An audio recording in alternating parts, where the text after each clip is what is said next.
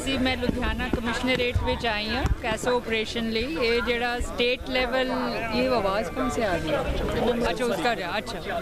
ਉਹ ਜਿਹੜੀ, ਇਹ ਸਟੇਟ ਲੈਵਲ ਦਾ ਕੈਸੋ ਆਪਰੇਸ਼ਨ ਹੈ, ਜੋ ਕਿ ਹਰੇਕ ਜ਼ਿਲ੍ਹੇ ਵਿੱਚ ਕੀਤਾ ਜਾ ਰਿਹਾ ਹੈ ਔਰ ਸਪੈਸ਼ਲ ਡੀਜੀਜ਼ ਔਰ ਐਡੀਸ਼ਨਲ ਡੀਜੀ, ਆਈਜੀ ਰੈਂਕ ਦੇ ਆਫੀਸਰਸ ਹਰੇਕ ਜ਼ਿਲ੍ਹੇ ਵਿੱਚ ਲਾ ਕੇ ਇਹਨੂੰ ਸੁਪਰਵਾਈਜ਼ ਕਰ ਰਹੇ ਹਨ ਇੱਥੇ ਮੈਂ ਅੱਜ ਬੱਸ ਸਟੈਂਡ ਵਿੱਚ ਆਈ ਹਾਂ ਤੇ ਇੱਥੇ ਆਊਟਰ ਔਰ ਇਨਰ ਕਾਰਡਨਸ ਲਗਾ ਕੇ ਸਾਰੀ ਫ੍ਰਿਸਕਿੰਗ ਔਰ ਚੈਕਿੰਗ ਕੀਤੀ ਜਾ ਰਹੀ ਹੈ ਔਰ ਇਹ ਜਿਹੜਾ ਅਸੀਂ ਕਰ ਰਹੇ ਹਾਂ ਕਾਸੋ ਆਪਰੇਸ਼ਨਸ ਉਹਦਾ ਮੰਤਵ ਇਹ ਹੈ ਕਿ ਲੋਕਾਂ ਦੇ ਵਿੱਚ ਇੱਕ ਪਬਲਿਕ ਕੌਨਫੀਡੈਂਸ ਜਾਗਰਿਤ ਹੋਏ ਕਿ ਆਮ ਤੌਰ ਤੇ ਲੋਕਾਂ ਨੂੰ ਸ਼ਿਕਾਇਤ ਰਹਿੰਦੀ ਹੈ ਕਿ ਪੁਲਿਸ ਦੀ ਵਿਜ਼ਿਬਿਲਿਟੀ ਨਹੀਂ ਹੁੰਦੀ ਤੇ ਇੱਥੇ ਸਕੂ- ਪੁਲਿਸ ਦੀ ਵਿਜ਼ਿਬਿਲਿਟੀ ਦੇ ਨਾਲ ਔਰ ਜਿਹੜਾ ਮਾੜਾ ਅਨਸਰ ਹੈ ਉਹਦੇ ਤੇ ਦਬਾਅ ਪਾਉਣ ਲਈ ਇੱਕ ਐਸਾ ਆਪਰੇਸ਼ਨ ਅਸੀਂ ਟਾਈਮ ਟਾਈਮ ਤੇ ਕਰਦੇ ਹਾਂ ਔਰ ਅੱਜ ਇਹ ਅ, ਕਿੰਨੀ ਲੋਕੇਸ਼ਨਸ ਤੇ ਕਰ ਰਹੇ ਹਾਂ?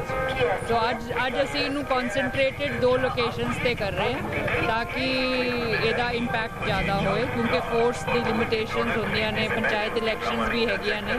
ਸੋ ਅਸੀਂ ਕਨਸੈਂਟਰੇਟਿਡ ਔਰ ਫੋਕਸਡ ਜਿਹੜੀ ਸਾਨੂੰ ਲੱਗਦਾ ਹੈ ਵਲਨਰੇਬਲ ਏਰੀਆ ਉੱਥੇ ਅਸੀਂ ਇਹ ਚੈੱਕ ਕਰ ਰਹੇ ਹਾਂ। ਮੈਮ ਜਿਸ ਤਰ੍ਹਾਂ ਤੁਸੀਂ ਕਹੀ ਪੰਚਾਇਤ ਇਲੈਕਸ਼ਨ ਵੀ ਹੈਗੇ ਤਿਉਹਾਰਾਂ ਦਾ ਵੀ ਸੀਜ਼ਨ ਲੱਗਦਾ ਕਿ ਜਿਹੜੀ ਹੈ ਜਾਂਚ ਜਿਵੇਂ ਬੱਸ ਅੱਡੇ ਜਾਂ ਹੋਰ ਕਿਹੜੀ ਕਿਹੜੀ ਪਲੇਸਿਸ ਤੇ ਕੀਤੀ ਜਾਵੇ ਨਹੀਂ ਬਸ ਆਈ ਐਮ ਬਾਈ ਫੌਜੀ ਫੌਜੀ ਕਲੋਨੀ ਹੈ ਔਰ ਕੀ ਨਾਮ ਹੈਗਾ ਇੱਥੇ?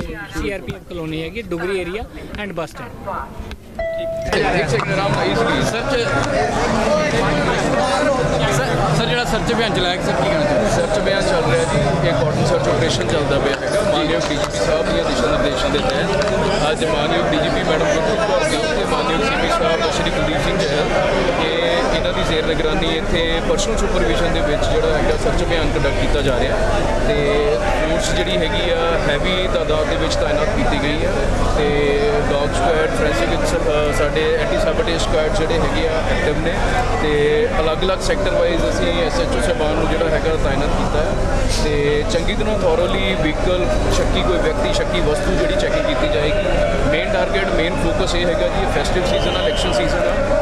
ਕੋਡ ਆਫ ਕੰਡਕਟ ਲੱਗਿਆ ਹੋਇਆ ਤੇ ਸਾਡੇ ਵੱਲੋਂ ਜਿਹੜਾ ਮਾੜੇ ਅਨਸਰਾਂ ਨੂੰ ਇਹ ਸੁਨੇਹਾ ਦਿੱਤਾ ਜਾ ਰਿਹਾ ਵੀ ਅਸੀਂ ਕਿਸੇ ਵੀ ਕਿਸਮ ਦੀ ਕੋਈ ਵੀ ਗੈਰ ਸਮਾਜਿਕ ਗਤੀਵਿਧੀ ਨੂੰ ਅਸੀਂ ਨਹੀਂ ਹੋਣ ਦੇਵਾਂਗੇ ਤੇ ਉਸ ਚੀਜ਼ ਵਾਸਤੇ ਅਸੀਂ ਮੁਕੰਮਲ ਤੌਰ ਤੇ ਤਿਆਰ ਹੈਗੇ ਹਾਂ ਤੇ ਹਰ ਕਿਸੇ ਗੈਰ ਸਮਾਜਿਕ ਮਨਸੂਬੇ ਨੂੰ ਅਸੀਂ ਨਾਕਾਮਯਾਬ ਕਰਾਂਗੇ ਸਰ, ਤਿਉਹਾਰੀ ਸੀਜ਼ਨ ਲੱਗਦਾ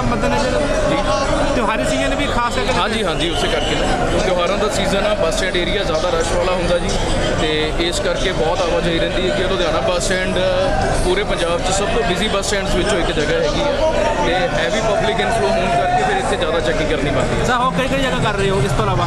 ਇਸ ਤੋਂ ਇਲਾਵਾ ਜੀ ਜ਼ੋਨ 2 ਦੇ ਏਰੀਆ ਦੇ ਵਿੱਚ ਚੈਕਿੰਗ ਹੈਗੀ ਆ। ਸੀਆਰਪੀ ਕਾਲੋਨੀ ਦੀ ਹੋ ਰਹੀ ਹੈ ਜੀ ਨਾਲ ਦੀ ਨਾਲ ਇੱਕ ਸੂਰਜ ਨਗਰ ਤੇ ਹੋ ਰਹੀ ਹੈ ਜੀ।